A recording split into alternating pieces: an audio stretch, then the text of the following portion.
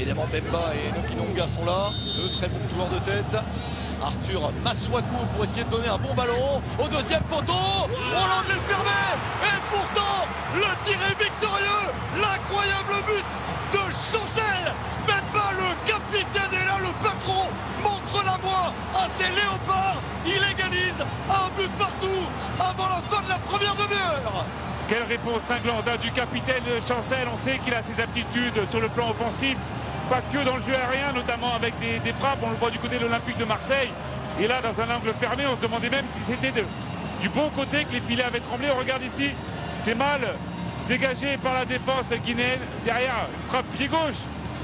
C'est incroyable, regardez, regardez, il est très intelligent. Le contrôle orienté, derrière, le pauvre reconnaît, ne peut que constater les dégâts. C'est mal dégagé, Janvier euh, et puis Bayo n'effleurent que, ne peuvent que effleurer ce ballon. Et quel but, quel but de Chancel Bemba. Regardez, avec l'aide du poteau, Koné qui est surpris, hein, il ne peut pas faire grand chose, ça part très très très vite.